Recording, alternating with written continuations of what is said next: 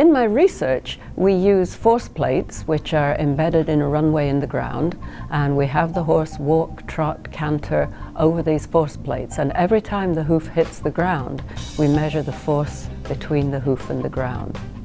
So we're interested in the size of the force, how that force travels up the horse's leg, and of course what we can do to reduce those forces, or at least to keep them within acceptable limits for the horse. So we're also interested in how horses perform on different types of footing.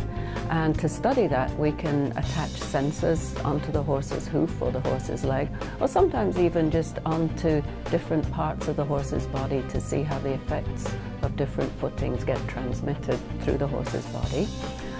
Um, we can also now use pieces of equipment to test the properties of the footing. So for example, before the Olympics in London, there was a lot of testing done on the footing there because it was on a platform, an artificial platform that was raised above the ground.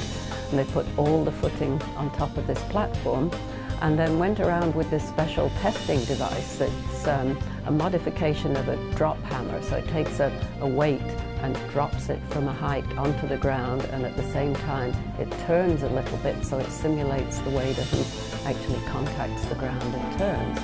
And they could look for consistency of the footing and check that it really was suitable both for the dressage and the jumping horses.